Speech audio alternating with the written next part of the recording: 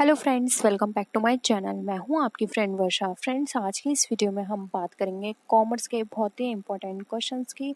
आज के क्वेश्चंस थोड़े अंडरस्टैंडिंग लेवल के हैं, यानी कि आज का क्वेश्चंस कुछ इस तरह के हैं जिसमें आपको बहुत सारी चीज़ें नई सीखने को मिलेंगी। तो स्टार्ट करते हैं वीडियो को। वीडियो पसंद आए तो वीडियो को लाइक कीजिए और अभी तक मेरे चैनल को सब्सक्राइब नहीं किया है तो प्लीज़ चैनल को सब्सक्राइब कर लीजिए और बेल आइकन पे क्लिक भी ज़रूर कीजिएगा जिससे कि फ्यूचर का नोटिफिकेशन आपको मिल जाए। तो फ्रेंड्स चलिए वीडियो को स्टार्ट करते हैं। Amount claimed by a consumer as a compensation is rupees 89 lakhs. The case under the consumer protection act shall be filled with the, यानी कि फ्रेंड्स इस क्वेश्चन के अकॉर्डिंग ये बताया गया है इसमें कि एक कंज्यूमर है जिसका 89 नाइन रुपीज़ लैख का एक कंपनसेशन है जिसको उसे एक केस के रूप में फ़ाइल करना है। तो वो कंज्यूमर प्रोटेक्शन एक्ट के अंदर यहाँ पर जो लेवल्स बताए गए हैं उनमें से किस लेवल्स में वो अप्लाई करेगा। ऑप्शन है district consumer redressal forum second है state consumer dispute redressal commission third है national consumer dispute redressal commission या फिर सुप्रीम कोर्ट। तो फ्रेंड्स, अगर हम अभी अपने अमेंडमेंट कंज्यूमर प्रोटेक्शन एक्ट 2018 की बात करें तो उसके अकॉर्डिंग यहाँ बताया गया है कि यहाँ पर जो भी eighty nine lakh rupees given है तो डिस्ट्रिक्ट की बात करें तो डिस्ट्रिक्ट लेवल पर जो अमाउंट फिक्स किया गया है, वो है वन करोड़ तो इट मीन्स यहाँ पे एट्टी नाइन लाख का जो भी केस है, वो डिस्ट्रिक्ट कोर्ट में जाएगा। तो यहाँ पे ऑप्शन वन हमारा करेक्ट है। नेक्स्ट है which of the following does not fall within the adjudication of M act यानी कि फ्रेंड्स एम कमीशन की जुडिकेशन के अकॉर्डिंग यहाँ पे कौन सी चीज़ है जो फॉल uh, नहीं करती है लाई नहीं करती है? ऑप्शन है हमारे prevention of monopolistic trade practices second है prevention of restrictive trade practices third है provision of unfair trade practices और फोर्थ है हमारी रेगुलेशन ऑफ़ कॉम्बिनेशंस तो friends M R T P की फुल फॉर्म से अगर हमें पता हो तो उससे हम ये ऑप्शन अपने इजिली ऑप्ट कर सकते हैं। एम आर टी की फुल फॉर्म है monopolistic restrictive trade practices act यानी कि फ्रेंड्स यहाँ पर मोनोपोलिस्टिक की बात की गई है तो हमारा ऑप्शन जो है, ये नहीं आएगा। अगर हम यहाँ पर रिस्ट्रिक्टेड ट्रेड प्रैक्टिसेस की बात करें तो हमारा ऑप्शन सेकंड भी नहीं आएगा। और यहाँ पर अगर हम अनफेयर ट्रेड प्रैक्टिसेस की बात करें तो ये भी हम यहाँ पर नहीं आएगा, क्योंकि ये तीनों चीज़ें तो इसके अंदर अप्लाई की ही गई हैं। यहाँ पर ये पूछा है कि कौन सी चीज़ यहाँ पे लाई नहीं होगी। तो यहाँ पे ऑप्शन फोर जो है हमारा रेगुलेशन ऑफ़ कॉम्बिनेशन वो हमारा यहाँ पर सही होगा, क्योंकि रेगुलेशन ऑफ़ कॉम्बिनेशन के ऊपर यहाँ पे एम कमीशन के अंदर कुछ भी चीज़ नहीं बताई गई है। नेक्स्ट है which of the following is not a part of the economic environment of a business यानी कि जो इकोनॉमिक एनवायरमेंट है किसी भी बिज़नेस का, उसमें से यहाँ पे कौन सी चीज़ है जो उसका पार्ट नहीं है? फ़र्स्ट है कॉम्पिटेटिव एनवायरमेंट सेकंड है इकोनॉमिक सिस्टम थर्ड है changes in patent laws and fourth है नन ऑफ़ दी अब तो फ्रेंड्स अगर हम किसी भी बिज़नेस के इकोनॉमिक एनवायरमेंट की बात करें तो वहाँ पे कॉम्पिटेटिव एनवायरमेंट की बात की जाती है तो ये ऑप्शन गलत हो जाता है। और अगर हम इकोनॉमिक सिस्टम की बात करें तो इकोनॉमिक एनवायरमेंट की अगर हम बात करें तो इकोनॉमिक सिस्टम आएगा ही तो ये भी हमारा गलत हो जाता है। और अगर हम बिज़नेस की बात कर रहे हैं तो पेटेंट लॉज में जो भी चेंजेस आ रहे हैं, वो भी इसके अंदर आएँगे तो ये ऑप्शन भी गलत है। तो इसका जो करेक्ट ऑप्शन की बात करें तो यहाँ पे फोर्थ ऑप्शन जो होगा, वो हमारा करेक्ट आंसर होगा। नेक्स्ट क्वेश्चन पे आते हैं। Laissez faire policy is adopted in यानी कि लेसेस फेयर पॉलिसी जो है वो कौन अडॉप्ट करता है? फ्रेंड्स इससे पहले हम ये जान लेते हैं लेसेस फेयर पॉलिसी क्या होती है। फ्रेंड लेसेस फेयर पॉलिसी वो पॉलिसी होती है जिसके अंदर जो प्राइवेट कंपनीज़ होती हैं या प्राइवेट सेक्टर होते हैं, वो फ्री होते हैं। उनके ऊपर किसी तरह का गवर्नमेंट का इंटरवेंशन नहीं होता, किसी भी तरह की कस्टम ड्यूटी को लेके रूल्स एंड रेगुलेशंस को एक लेके तो यहाँ पर वो फ्री होते हैं। तो की बात करते हैं। Socialist economic system capitalist economic system mixed economic system या कम्युनिस्ट इकोनॉमिक सिस्टम तो फ्रेंड्स अगर हम सोशलिस्ट की बात करें तो यहाँ पर गवर्नमेंट की बात की जा रही है तो ये ऑप्शन गलत है। मिक्स्ड की बात करें तो भी गवर्नमेंट आएगा, ये भी गलत है। और कम्युनिस्ट की बात करें तो यहाँ पे गवर्नमेंट के रूल्स चलते हैं तो ये भी ऑप्शन गलत हो जाते हैं। तो हमारा जो राइट आंसर होगा वो होगा कैपिटलिस्ट इकोनॉमी इसके अंदर प्राइवेट सेक्टर की बात की जाती है, यहाँ पे गवर्नमेंट इंटरवेंशन नहीं होता है। नेक्स्ट है relaxing the restrictions and controls impose on business and industry means यानी कि किसी भी बिज़नेस एंड इंडस्ट्री पे अगर किसी भी तरह के रिस्ट्रिक्शन या कंट्रोल्स इम्पोज किए गए हैं और उसको रिलैक्स किया गया यानी कि उनको हटाया गया है तो वो क्या है इसका मतलब? लिबरलाइजेशन से मतलब है प्राइवेटाइजेशन से मतलब है ग्लोबलाइजेशन से मतलब है या नन ऑफ़ दिस से मतलब है? तो फ्रेंड्स अगर किसी भी कंपनी या फिर किसी भी बिज़नेस या इंडस्ट्री के ऊपर किसी भी तरह के रिस्ट्रिक्शन कंट्रोल जो होते हैं, उसको रिलैक्स किया जाता है। यानी कि कंट्रोल तो है, लेकिन इतना कंट्रोल नहीं है कि वो अपनी किसी भी तरह की डीलिंग ना कर पाए, किसी भी तरह के ट्रांजेक्शन ना कर पाए तो वो हमारी कहलाती है लिबरलाइजेशन लिबरलाइजेशन के अंदर बहुत सारे रिस्ट्रिक्शंस और जो भी ड्यूटीज़ होती हैं, उनको कम कर दिया जाता है और जो भी डॉक्यूमेंटेशंस होते हैं, उनको भी कम कर दिया गया है, जिससे कि अगर कोई पर्सन किसी अदर कंट्री के साथ डीलिंग करना चाहे तो डील कर पाए। तो इसका हमारा ऑप्शन वन जो है करेक्ट है। नेक्स्ट क्वेश्चन है, a variable such as activity that causes cost over a given time is. यानी कि कोई ऐसा वेरिएबल जैसे कि कोई एक्टिविटी जो कि किसी कॉस्ट, उसकी जो कॉस्ट आ रही है गिवन टाइम के ऊपर उसका कारण है तो वो क्या है? Cost driver, cost behaviour, cost centre या नन ऑफ़ दी अवर तो फ्रेंड्स ये होता है कॉस्ट ड्राइवर के कारण। जिसको हम कॉस्ट ड्राइवर बोलते हैं। नेक्स्ट है the concept of budget that requires all levels to work from scratch is यानी कि फ्रेंड्स कॉन्सेप्ट बजट का वो कॉन्सेप्ट जिसके अंदर स्क्रैच से शुरू किया जाता है सारा काम। यानी कि अगर कोई भी बजट प्रिपेयर करना है किसी भी लेवल पर तो वहाँ पे स्क्रैच यानी कि स्टार्टिंग से किया जाता है तो वो बजट कौन सा बजट होता है? Flexible budget total budget master budget या zero based budget friends, flexible budget की बात करें तो यहाँ पे बजट की बात की जा रही है कि कोई भी बजट है जिसको आप कोई भी सिचुएशन आने पर चेंज करो। तो यहाँ पर अगर हम स्क्रैच से लें तो यहाँ पे कोई इसका मीनिंग नहीं निकल रहा। तो ये ऑप्शन गलत हो गया। टोटल बजट की बात करें तो टोटल बजट यहाँ पर हम बनाएँगे किसी और बजट की हेल्प से, यानी कि हमारे पास डिफरेंट डिपार्टमेंट के बजट हैं, उन सब की हेल्प से हमने एक टोटल बजट बना लिया। तो ये ऑप्शन भी हमारा गलत है। मास्टर बजट अगेन हमारा बात की जाती है डिफरेंट बजट्स को एनालाइज करने के बाद जो बजट बनाया जा रहा है वो मास्टर बजट है तो ये भी गलत हो जाता है। अगर हम स्क्रैच की बात करें तो वो होता है ज़ीरो बेस्ड बजट, नाम से ही पता चल रहा है, जो ज़ीरो से स्टार्ट होता है, यानी कि स्क्रैच से।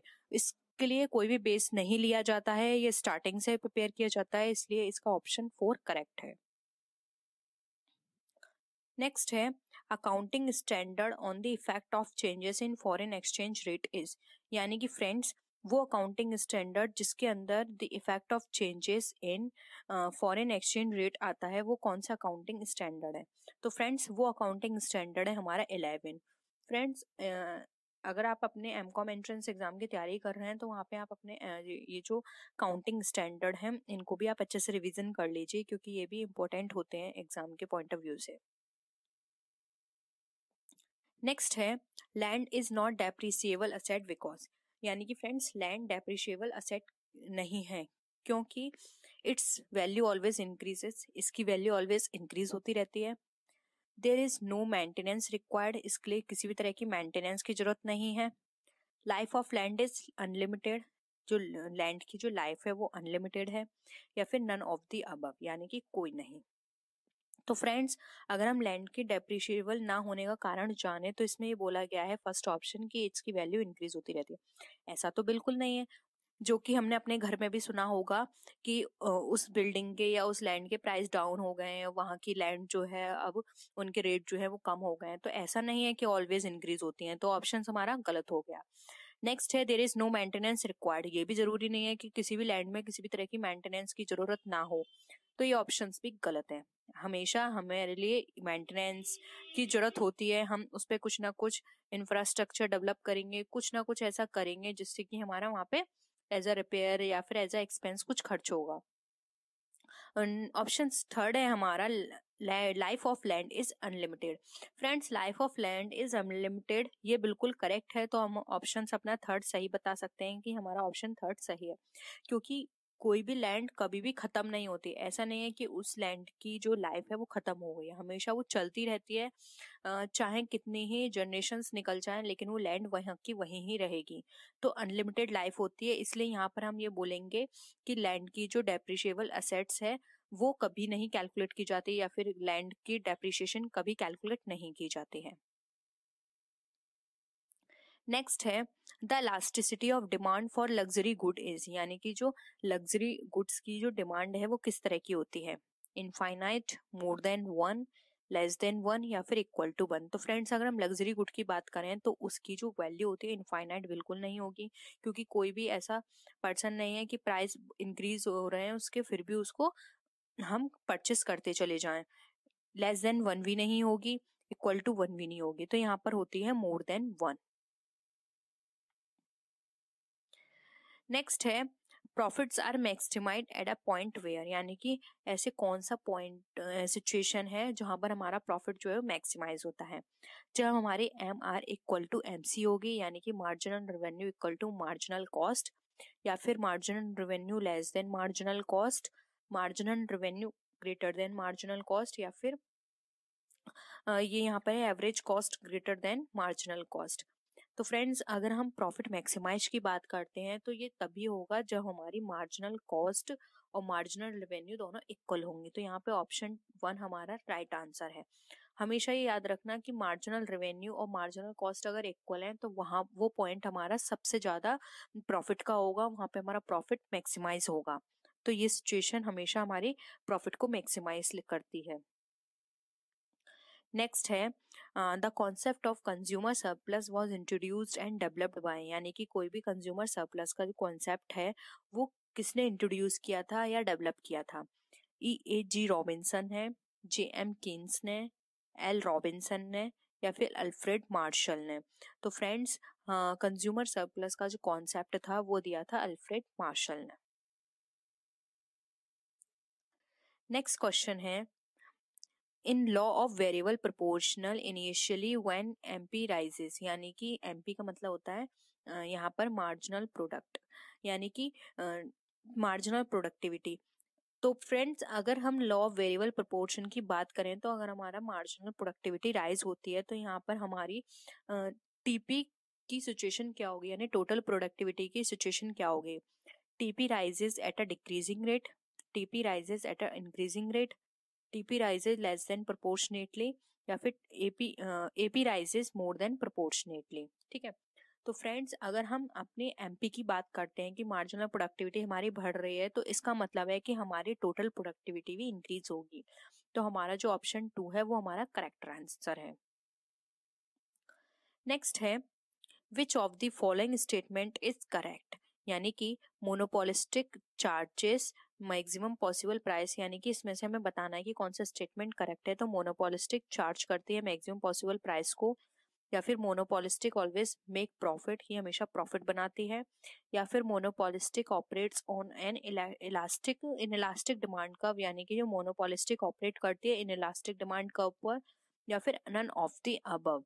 तो फ्रेंड्स, अगर हम यहाँ पे करेक्ट स्टेटमेंट की बात करें तो यहाँ पर ऑप्शन फोर वो सॉरी फ़र्स्ट हमारा राइट होगा क्योंकि मोनोपोलिस्टिक के अंदर हमेशा जो प्राइसेस होते हैं, वो मैक्सिमाइज होते हैं यहाँ पर क्योंकि जो कंपनी होती है, वो वो मोनोपोली अपनी क्रिएट करती है तो प्रोडक्ट के प्राइस क्या करती है मैक्सिमाइज कर देती है।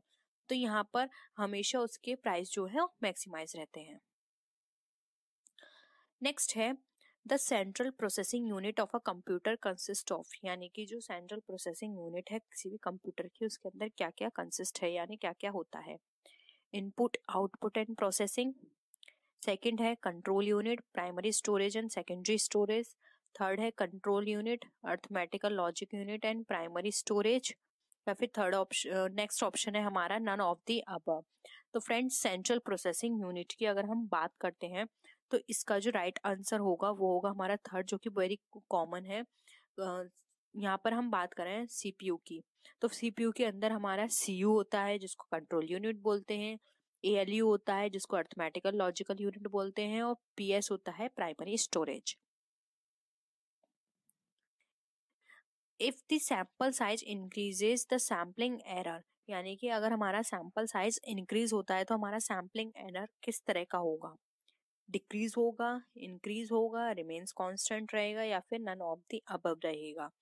तो फ्रेंड्स, यहाँ पर अगर हम बात करें सैंपल साइज़ इंक्रीज होने की तो हमारा जो सैम्पलिंग एरर है, अगर हम सैंपल साइज़ इंक्रीज करके चल रहे हैं तो सैम्पलिंग एरर इंक्रीज होने के चांसेस ही नहीं होते, क्योंकि यहाँ पे हमारे पास इनफ हमारे पास वेरिएबल्स हैं हमारे रिसर्च करने के लिए। रिमेन्स कांस्टेंट भी हमारा ऑप्शन गलत है और नन ऑफ़ दी गलत है। तो हमारा option act came into force on, यानी इनकम टैक्स एक्ट कब लागू किया गया था? First April 1961 first April 1962 first April 1956 first April 1965 तो बताइए फ्रेंड्स, क्या होगा इसका राइट आंसर इसका जो राइट आंसर है वो है ऑप्शन बी जो कि है फ़र्स्ट अप्रैल 1962 नेक्स्ट क्वेश्चन है residential status is determined for यानी रेसिडेंशियल स्टेटस जो होता है वो किससे डिटरमाइन किया जाता है?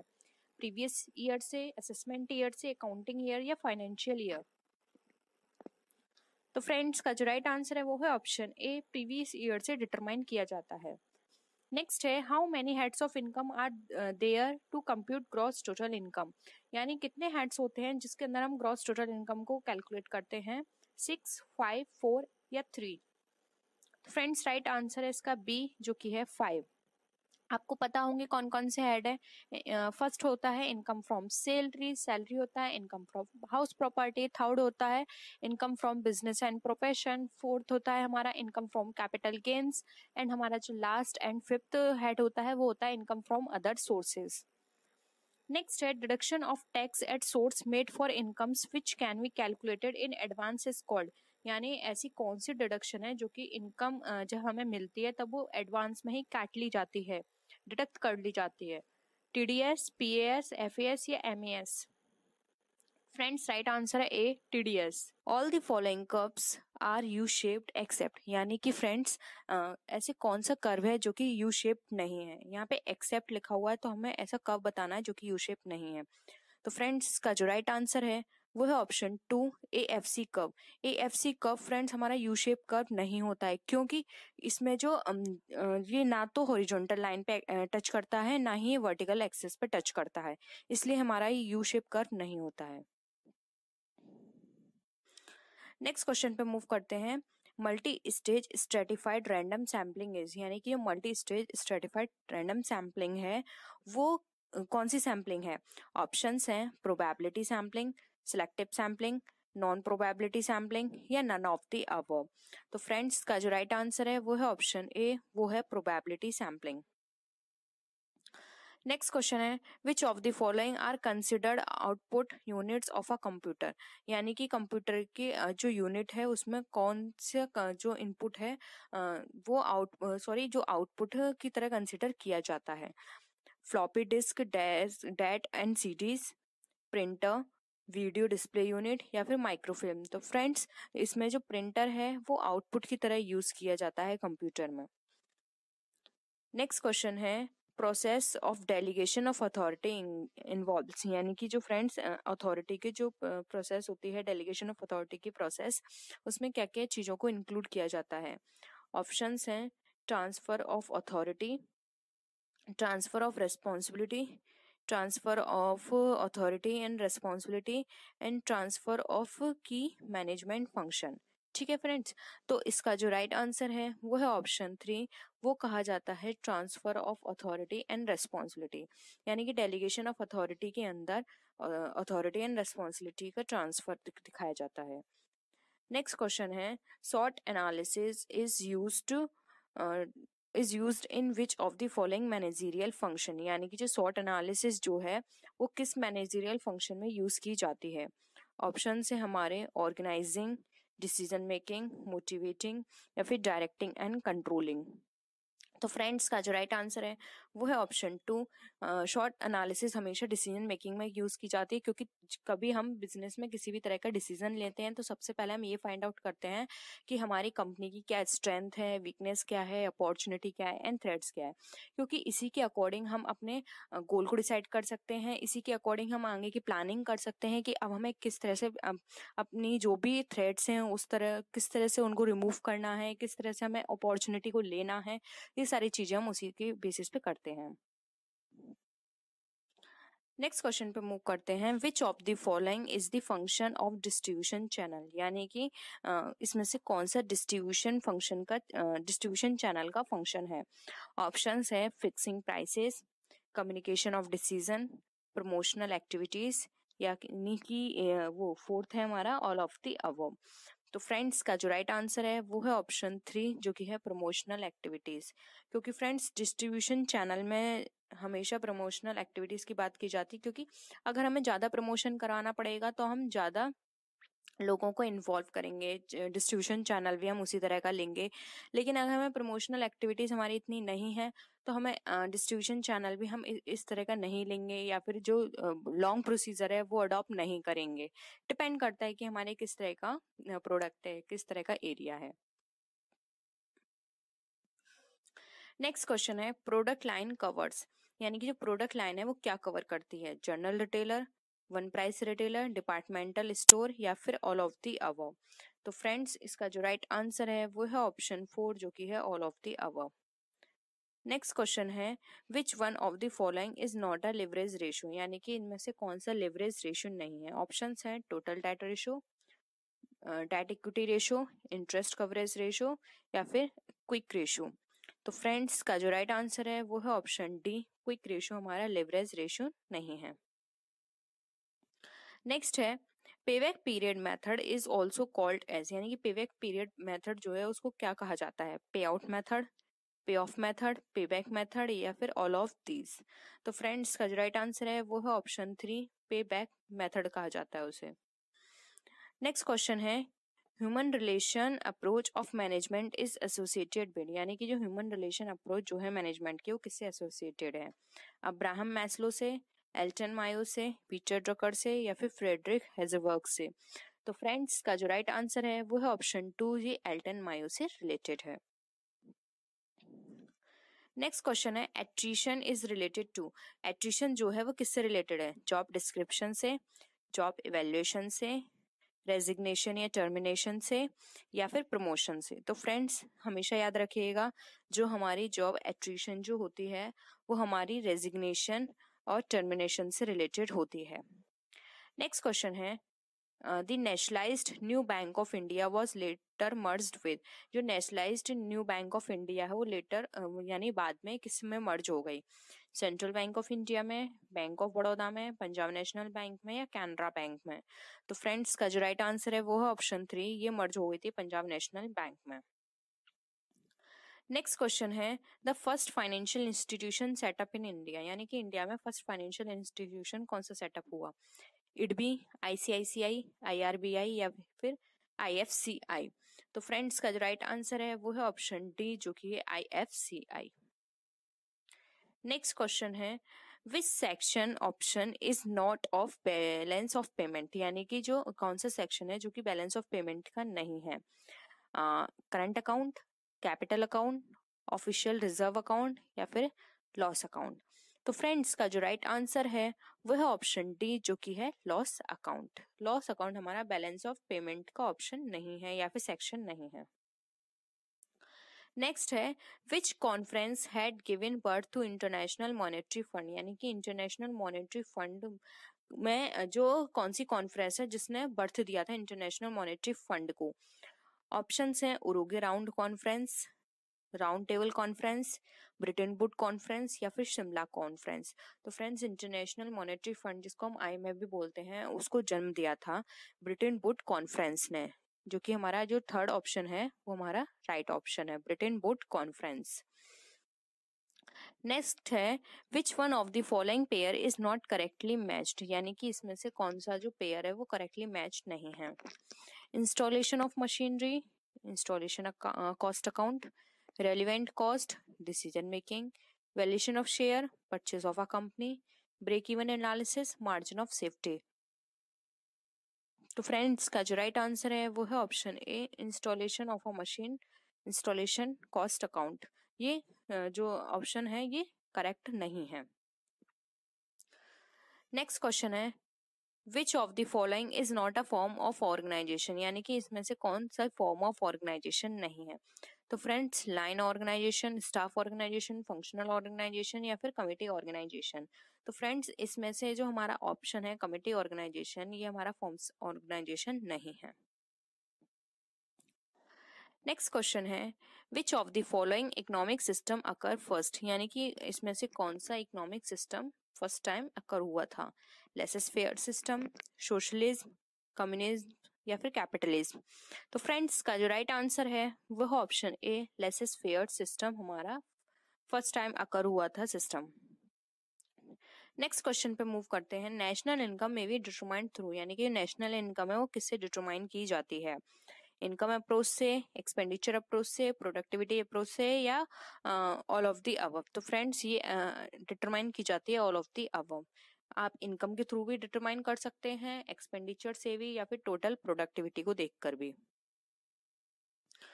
नेक्स्ट क्वेश्चन है standard error of mean is defined as यानी कि स्टैंडर्ड एरर ऑफ़ मीन जो है वो किस तरह से डिफाइन किया जाता है? Standard deviation of the sampling distribution of a mean या फिर average of sampling distribution of mean या फिर interquartile range of sampling distribution of mean या फिर correlation coefficient between the sampling distribution mean and population mean तो friends इसका जो right answer है, वो है option one standard deviation of the sampling distribution of mean यानी कि जो भी मीन निकल कर आएगा, उसकी सैम्पलिंग डिस्ट्रीब्यूशन का, उसका स्टैंडर्ड डेविएशन निकालना हमारा स्टैंडर्ड एरर ऑफ़ मीन का उसका मतलब होता है। नेक्स्ट आता है which of the following is not involve in the characteristics of business ethics यानी कि इसमें से कौन सी करेक्टरिस्टिक्स इन्वॉल्व नहीं है बिज़नेस एथिक्स में? फ़र्स्ट आता है business ethics is a dynamic philosophy second आता है business ethics is based on moral value third आता है business ethics influenced by social culture value या फिर फोर्थ है हमारा business ethics is not inspired by social welfare तो friends का जो राइट आंसर है वो है ऑप्शन डी इसमें ये लिखा गया है कि जो सोशल एथिक्स हैं वो सोशल वेलफेयर से इंस्पायर्ड नहीं होते जबकि ऐसा नहीं है फ्रेंड्स बहुत सारे एथिक्स ऐसे होते हैं जो कि हमारे सोशल वेलफेयर से इंस्पायर होते हैं। नेक्स्ट क्वेश्चन है management of sales force involve यानी कि जो सेल्स uh, फोर्स है उसका मैनेजमेंट में क्या क्या इन्वॉल्व होता है? Selection of salesman remuneration to salesman training of salesman या फिर ऑल ऑफ़ दी अवब तो फ्रेंड्स का जो राइट right आंसर है, वो है option D all of the above sales force के मैनेजमेंट में आप सिलेक्शन भी करेंगे सेल्समैन का. सेल्समैन की रेमुनरेशन की भी बात होगी और सेल्समैन की ट्रेनिंग की भी उसके अंदर बात की जाएगी. तो ये सारी चीज़ें ही सेल्स फोर्स के मैनेजमेंट में इंक्लूड होती हैं। नेक्स्ट क्वेश्चन है is a permanent inter government body governing and regulating international trade in goods and services यानी कि ऐसी कौन सी परमानेंट इंटर गवर्नमेंटल बॉडी है गवर्नमेंट की, जो कि गवर्न करती है और रेगुलेट करती है इंटरनेशनल ट्रेड को? जब भी गुड्स एंड सर्विसेज़ की बात की जाती है तो उसमें रेगुलेट करती है। ऑप्शन हैं गैट एग्जिम बैंक डब्ल्यू या फिर आईएमएफ तो फ्रेंड्स का राइट आंसर है डब्ल्यू डब्ल्यू हेल्प करती है जो भी इंटरनेशनल ट्रेड होते हैं गुड्स एंड सर्विसेज़ के, उसमें वो रेगुलेट करती है, उसको गवर्न करने होती है और जो भी किसी भी तरह की कोई रूल्स एंड रेगुलेशन की बात होती है तो डब्ल्यू वर्क करती है। नेक्स्ट है physical deficit in the union budget means यानी कि यूनियन बजट में फ़िज़िकल डेफिसिट का क्या मतलब है?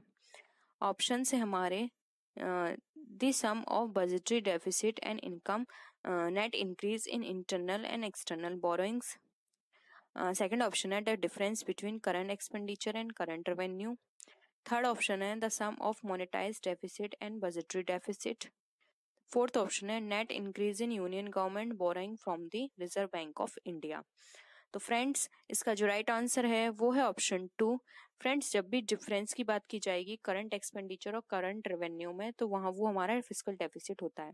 यहाँ पर ये लोग क्या बात कर रहे हैं? बजटरी डेफिसिट और net increase in internal and external borrowings friends यहाँ पे ये सिर्फ़ बोरोइंग्स की बात कर रहे हैं, जबकि यहाँ पर हम all current expenditure and current revenue सबकी बात करते हैं.